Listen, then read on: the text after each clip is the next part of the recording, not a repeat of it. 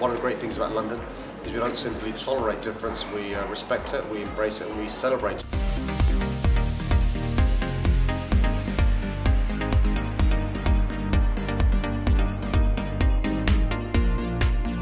On this week's episode of Your Event, we visit a number of mosques as part of the national Visit My Mosque Day, where over 200 mosques open their doors to their local communities.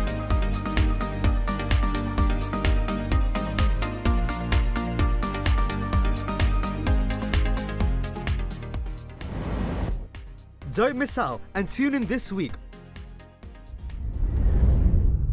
exclusively on Islam Channel.